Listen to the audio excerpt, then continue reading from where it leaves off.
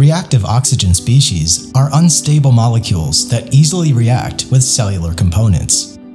Antioxidant enzymes defend cells against their potentially harmful effects.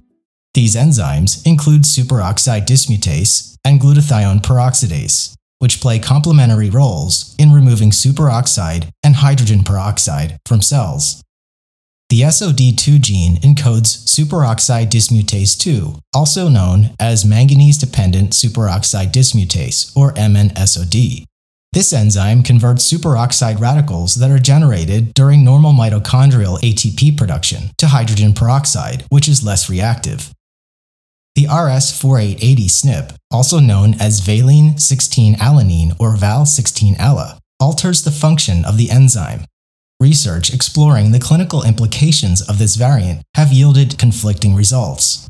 However, gene-diet interaction studies on breast and prostate health have shown that higher intakes of antioxidant-rich fruits and vegetables may reverse or eliminate the effect of the variant.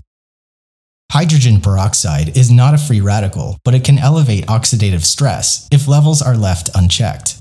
Glutathione peroxidase 1, or GPX1, is a selenium-dependent enzyme that removes hydrogen peroxide by converting it to water. The T allele of the proline 192 leucine SNP in the GPX1 gene reduces enzyme activity by about 15%.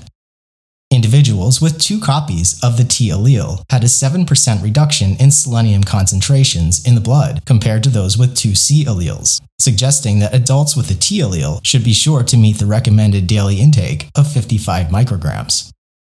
The GPX1 gene is upregulated by the NRF2 pathway, Dietary compounds that support this pathway, such as sulforaphane from cruciferous vegetables, may support GPX gene expression, as well as the expression of other enzymes with antioxidant and detoxifying functions.